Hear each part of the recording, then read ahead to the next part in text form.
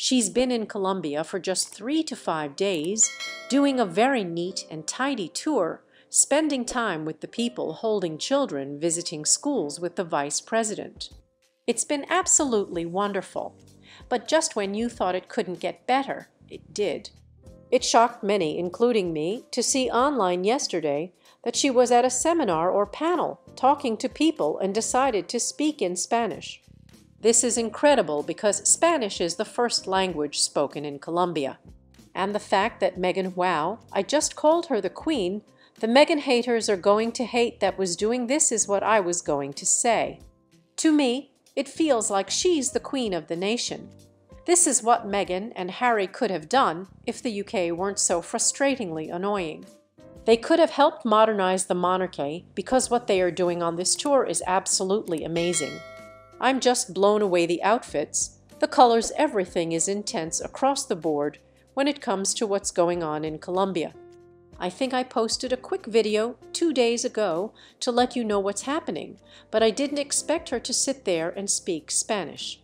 I can't believe I just called her the Queen. That's so funny, but that's what it feels like. It's giving Royal Queen vibes, and I'm so sorry to those critiquing her outfits or whatever, but who cares? The people want to see her. There are lines of people in different countries. The vice president invited her, and she's there with the children. The people want her, and they want to be with her. That's what a tour is about. You want to be there for the people, whatever it may be, and it's just fantastic to see. So, the fact that she's speaking Spanish guys, what the heck someone who could have been in the royal family doing things like this. But apparently, to those in the UK like Charles, William and Camilla, it's not about what makes the royal family look best. They want to look the best.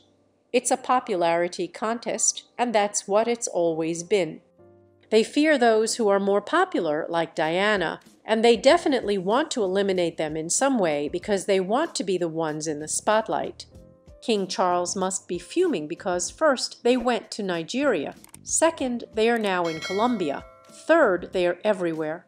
Fourth, their actions, like speaking Spanish, have positively shocked people in Colombia. All the attention is on them. There's been almost zero attention on King Charles throughout his entire reign. At best, attention has been on Kate. Anything about Charles was in the news for a week or two, and then people just kind of moved on. So I know it probably frustrates him immensely that he can't have his moment because Meghan shines. They must be fuming because this is exactly what they wanted to remove from the royal family. They were likely so happy when Meghan and Harry left the royal family. But the thing is, while they tried to bury them, they didn't realize they were digging their own graves because you can't bury Meghan and Harry. They are going to keep outshining them effortlessly, and it's just so nice to see it's so seamless.